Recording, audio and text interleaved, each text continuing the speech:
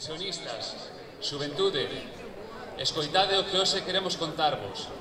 Aquí estamos, aquí seguimos para loitar polas nosas pensións e as vosas pensións. Seguiremos na loita ata que consigamos os nosos objetivos. Sigamos camiñando xuntos, por uns dereitos que temos, traballados e gañados con noso esforzo. Agora, actuará o grupo Ultraviolentas, con quen estamos encantados de contar.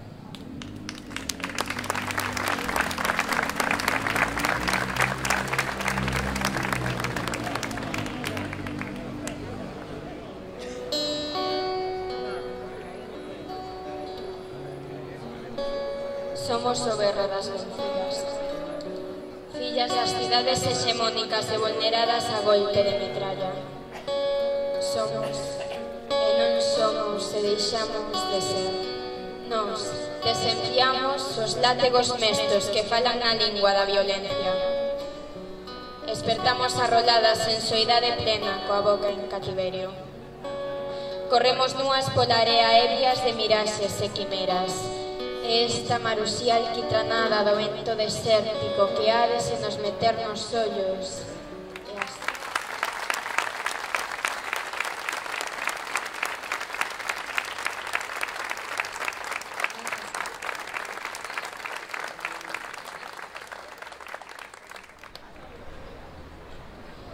A continuación, falará o compañero Guillermo sobre a Marcha Madrid do próximo 16 de outubro. Boas tardes, compañeiras e compañeiras. O día 16 deste mes vamos a Madrid. Ali están os do poder económico e os do poder político. Ambos os dous son os que cada día toman decisións que nos poñen a vida máis difícil e máis precaria Vamos ali a petarlle na porta do poder para dicirlle que sabemos quen son eles e quen nos crean as dificultades da nosa vida. E vamos a dicirlle quen somos nós. Un imenso colectivo convencido e cheo de coraxe solidario para defender o sistema público de pensións que é noso dos traballadores e das traballadoras, que foi o movimento obreiro, que foi a clase traballadora que nos puxo en marcha e é o movimento obreiro que nos sostén e sostuvo sempre económicamente. Porque non é como dicen algúns que non hai cartos para as pensións, pero a riqueza que me genera, quen fai posible a vida das personas sobre, sobre a terra se non é o esforzo productivo da clase traballadora. Somos nós, é un dereito histórico que noso, e nos pertenece, e non o debemos a nadie, porque non nos lo deu ni ningún empresario, ni ningún goberno, nin falta que fai. Vamos a dicirlle tamén que somos a inmensa maioría que ese día estamos ali en Madrid os mesmos que cando a xuventude atrevémonos a plantarlle cara á ditadura fascista, a pesar de todo o seu aparato represivo, de despidos, de detencións, de cárcer e de morte. Non nos pararon e tampouco nos van parar agora. Pero tampouco vamos no plan de meterlle medo. Pero deixarlle moi claro en vivo e en directo que non lle temos medo e que estamos dispostos a aguantar todo canto faga falta que temos moitos kilómetros de movilización ás costas e que temos moito aguante e non nos van parar. Compañeiras e compañeiras o día 16 en Madrid contribuímos coa nosa presencia ali a agrandar a capacidade de comunicación nosa co resto da sociedade. Facerlle saber ao mundo quen somos e por que loitamos. E que neses vamos a seguir. Pero ese día ali confluye outra cosa tanto máis importante que o que acabo de dicir. Se o que acabo de dicir é algo importante. Ese día ali van estar compañeiras e compañeiras de Euskadi, compañeiras e compañeiros de Cataluña, compañeiras e compañeiros de Andalucía, das Canarias, das Baleares, de Valencia, de Madrid, de Cantabria, de Asturias e, por suposto, de Galicia, entre outros. Vai ser un acto de unidade a nivel de Estado español donde os pensionistas de hoxe e os que veñen detrás vamos a demostrar a nosa capacidade de organización e movilización social que se van a enterar, que van tomar nota porque o teñen que tomar.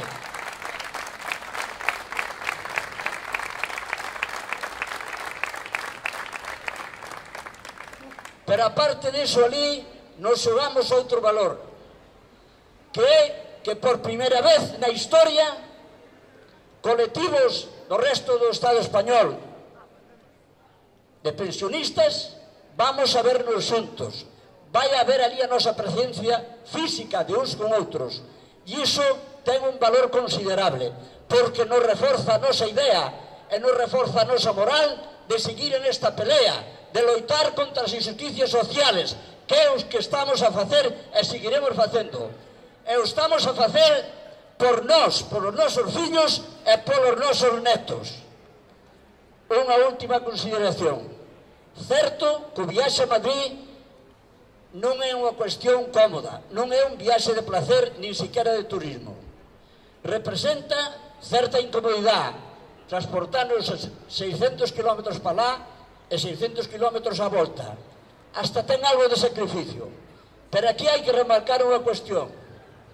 A clase traballadora, cada peldaño que deu para mellorar as súas condicións de vida foi paso a paso e cada un deses pasos exigiu esforzo e, e solidario e sacrificio a, durante moitos anos e o sigue facendo necesario. Nos, ese día, compañeiros e compañeiras, vamos estar en Madrid invitámoos a todos que fajades o esforzo como sea posible para facerse presente con nos ali en Madrid, porque van estar non só os de Galicia, que como dixen antes, os do resto do Estado español. E un exemplo de unidade e de combate unitario en favor dos dereitos da clase traballadora. Con nós, se podedes e queredes, o, do, o día 16 en Madrid.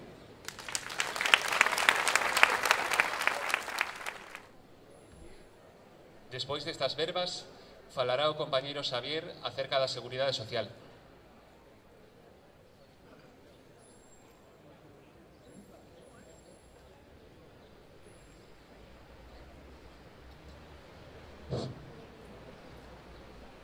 Boa tarde, oise ben? Oise? Ben, eh, boa tarde, boa tarde a todas e a todas eh, as compañeiras da coordinadora do Modepen pedironme que fale sobre esa recesión que parece ser que está a chegar. E vou no facer. Pero antes quería falar algo, darvos algunha información sobre o Fondo de Reserva da Seguridade Social. Sobre iso que coñecemos como PETO, o aucha das pensións.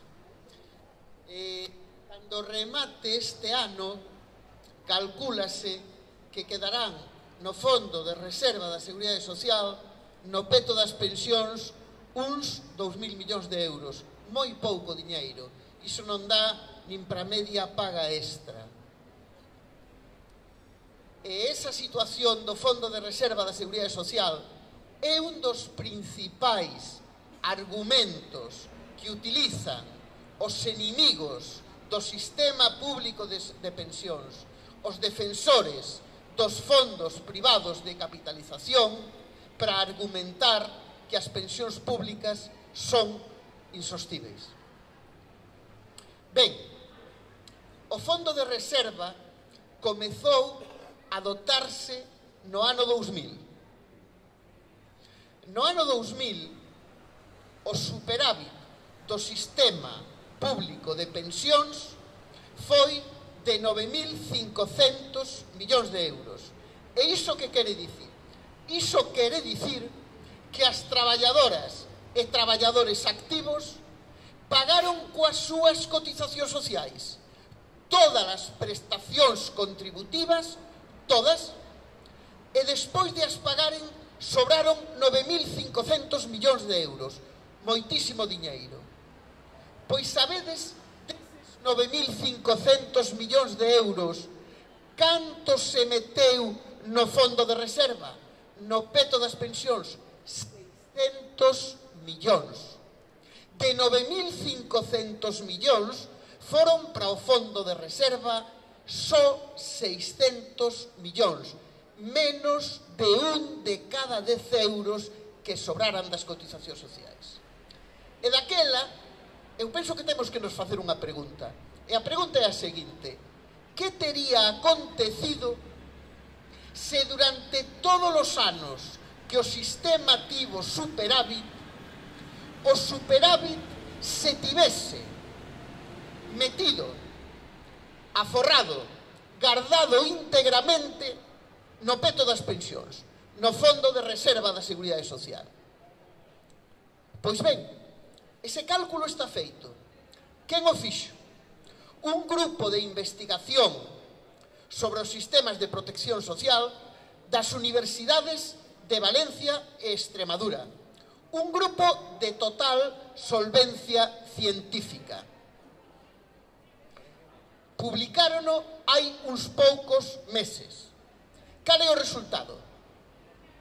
Se se tivesen introducindo no fondo de reserva os superávits íntegros entre 2000 e 2011 o fondo de reserva tería chegado a ser dúas veces e media máis grande da cantidade que acumulou. Chegaría a ter exactamente 163.000 millóns de euros. Eu xa que cando pasamos de 10 millóns de euros para xente do común o mesmo das 10 que 100, que 1000, que 10.000. 163.000 millóns de euros e moito diñeiro. Este grupo de investigación continuou coa súa, eh, eh, co seu cálculo e seguiu calculando o seguinte. O fondo sería moito máis grande, pero entón chegaron os anos de déficit. Cal sería o resultado se os déficits íntegros se cargasen ao fondo de reserva. Pois o resultado é que a finais do ano 2017 quedarían aínda no fondo de reserva, no peto das pensións, 109.000 millóns de euros, moito máis do que o fondo chegou a ter no seu momento máximo. Supoño que vos estades a perder nos números, pero resumindo, resumindo, se se tivese dotado o fondo de pensións con todos os superávits das cotizacións das traballadoras e traballadores e se tivesen pagado todos os déficits con cargo ao fondo de reserva, hoxe o fondo de reserva tería moito máis viñeiro do que nunca chegou a ter. E iso sabedes o que quere dicir? Quere dicir que os traballadores e as traballadoras estiveron pagando coas súas cotizacións sociais o déficit do Estado e que o sistema é totalmente sostible. En calquera caso, fixen un folio para que se tedes curiosidade repasedes os números. E agora, agora vou coa recesión. Vou coa recesión. Anúnciase, anúnciase que a economía mundial, a economía europea a economía española e a economía galega van camiño da recesión. Iso que quere dicir? Que a economía cada vez medra menos e que pode ser que deixe de medrar. Entón debemos facernos dúas preguntas. Se entramos en recesión, que vai acontecer? Esa é a primeira pregunta. E segunda pregunta, como debemos actuar? O que vai acontecer sabémolo se entramos nunha recesión, van a aproveitar os que realmente gobernan a sociedade, a clase capitalista e os donos das finanzas, van a aproveitar para intentar facer o mesmo que fixeron a crise que comezou no ano de 2008. Lembrémolo. Inmediatamente reduciron o gasto en sanidade pública e en educación pública e inmediatamente entrou, aumentou a participación da educación e sanidade privada. Se entramos en recesión, van propoñer unha nova reforma laboral, como a que propuseron en 2012, para reducir os salarios. Se entramos en recesión, van querer privatizar o pouco que quedan de empresas públicas. En definitiva, se entramos en recesión, van querer intensificar máis o ataque contra os dereitos que xeracións de traballadores e traballadoras en todo o mundo conseguiron despois de 100 anos de loita. Sabemos o que van intentar facer. Pero a pregunta é, a pregunta que realmente nos interesa é que debemos facer nosotras e nosotros. Que debemos facer a maioría social, a cidadanía, as clases traballadoras, tamén as persoas pensionistas. Debemos, en primeiro lugar, opórmonos frontalmente a todas esas medidas, pero é importante que sustituamos ou que completemos a vontade de resistir pola vontade de avanzar. Basta xa de só resistirnos a súas medidas.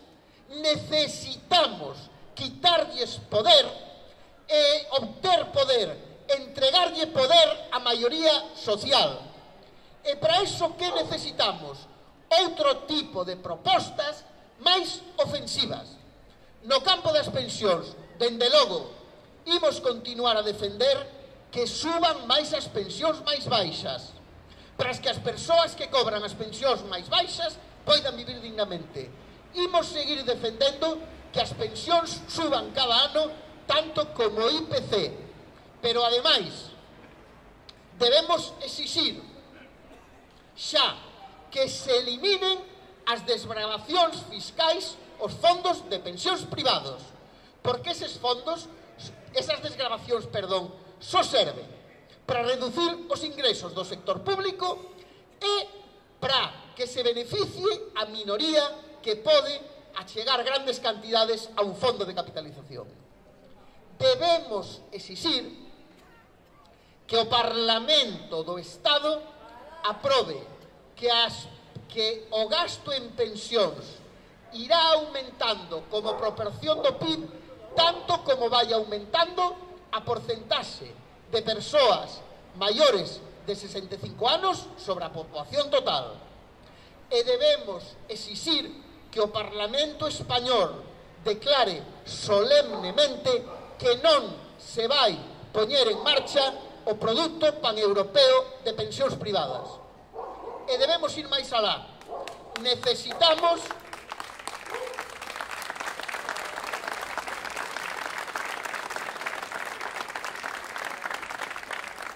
Debemos ir máis alá.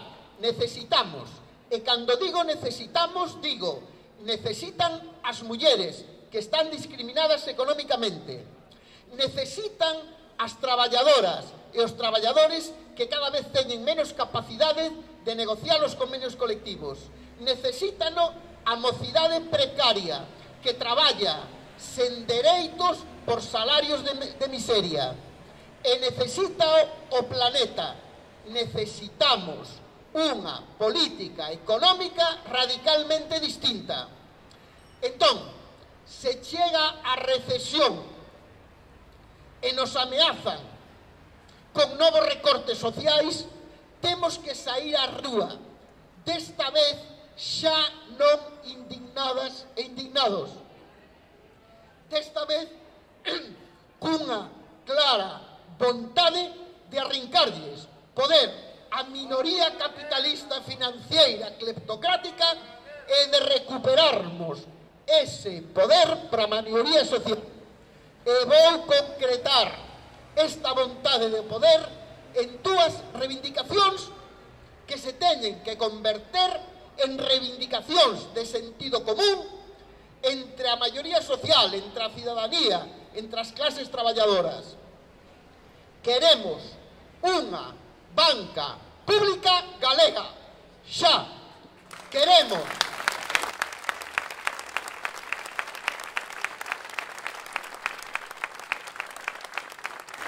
queremos unha empresa galega da enerxía que xestione as grandes infraestructuras enerxéticas e lidere a unha a transición a unha economía sen carbono. E agora idesme permitir que interprete o que estades pensando. Estades pensando, que ben fala este home. E a continuación pensades, o que propón é imposible. Nunca volverá a haber unha banca pública e nunca volverá a haber unhas compañías públicas da enerxía. A que estaba despensando iso? Ben, pois eu digo vos, non conseguiremos non conseguiremos unha sociedade máis xusta, máis igualitaria, en a que haxa menos explotación ou que desapareza a explotación, porque a explotación non é unha condena para a eternidade, non o conseguiremos sen que o poder público e social recupere instrumentos reais de política económica por exemplo, e volvo a repetir, un sistema financeiro público e empresas públicas en sectores estratégicos como da enerxía. Mirad unha cousa.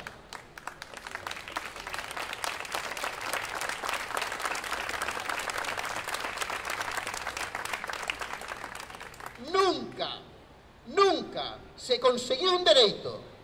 Nunca os seres humanos e a sociedade avanzaron sen que antes se verbalizase, se lle pusese nome ao que semellaba imposible. Cando as mulleres, as primeiras sufraxistas, dixeron queremos votar e queremos ter os mesmos dereitos que os homes, eso era unha pura loucura na sociedade no que o propuñan pero se atreveron a pensalo, atreveronse a dicilo en voz alta, atreveronse a poñelo no debate público. E o 8 de marzo de 2018, o movimento das mulleres en todo o mundo deu un salto cualitativo que asombrou o mundo. E as mulleres máis novas verán a igualdade económica real. Eu pídovos que vos atrevedes a pensar que pode existir unha banca pública e que as caixas de aforro que nos roubaron, porque ese é o verbo que corresponde, que nos roubaron aproveitando a crise financeira global que les provocaron, esas caixas de aforro deben volver ser nosas.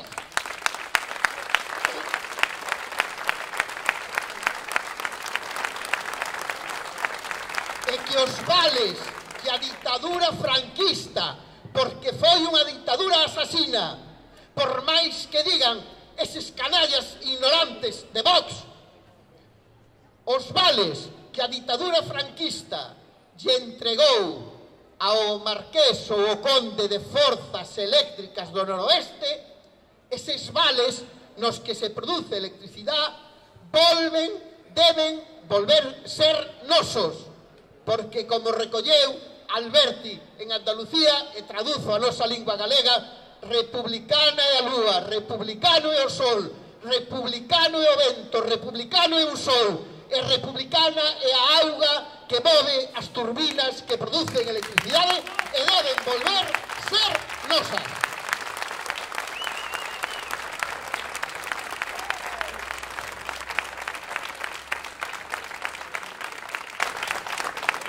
E remato, e remato. E agora quero baixar o ton de voz, porque a emoción debe desaparecer para ser completada coa razón. Eu pido vos que reflexionedes. Pode haber unha política económica de verdade en beneficio da maioría social sen instrumentos financeiros públicos, sen empresas públicas, pídovos que vos fagades esa pregunta. E se a resposta é que non a pode haber, que para que haxa necesitamos que o poder público teña instrumentos de política económica de verdad, se no vosso cerebro a resposta é que si o necesitamos, entón só nos queda unha cousa, pensar como facelo posible. Nada máis, vivide, sede felices e adiante, adiante e adiante.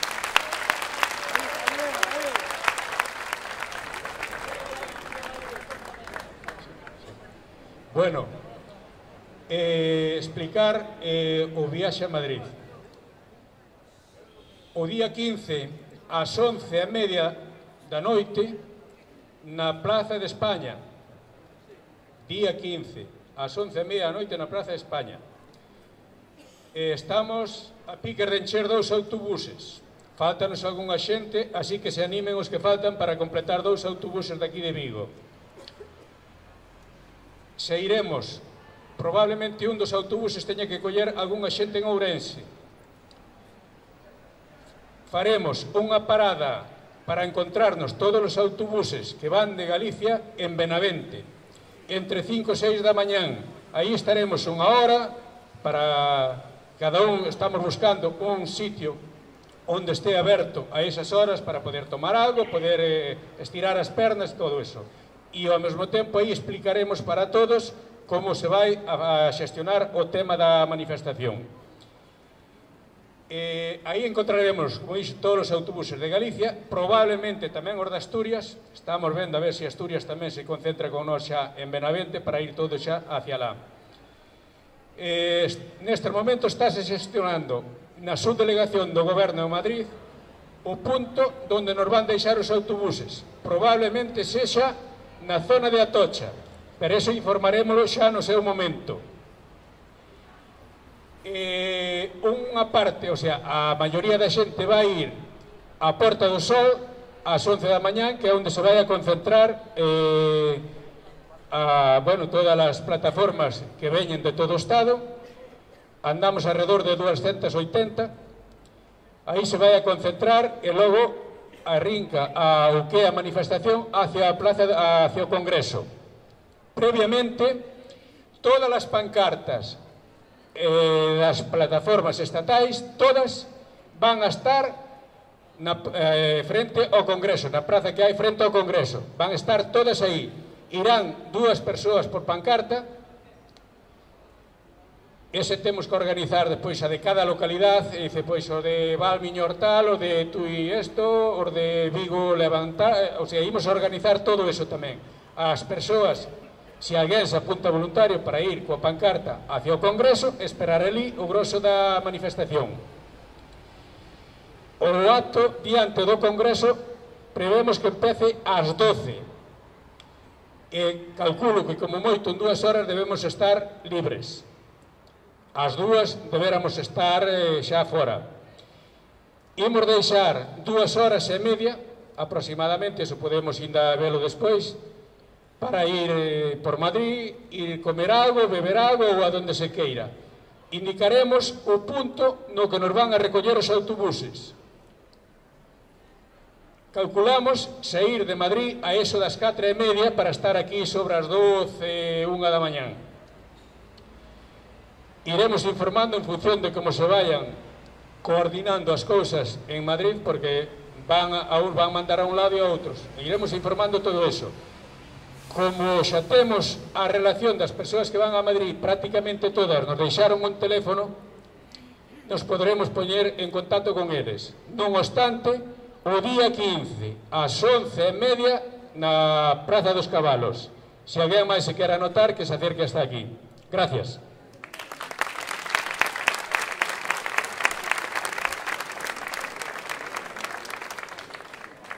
Esperamos vervos a todos e to todas e todos en Madrid e para rematar este acto volven a actuar as ultraviolentas.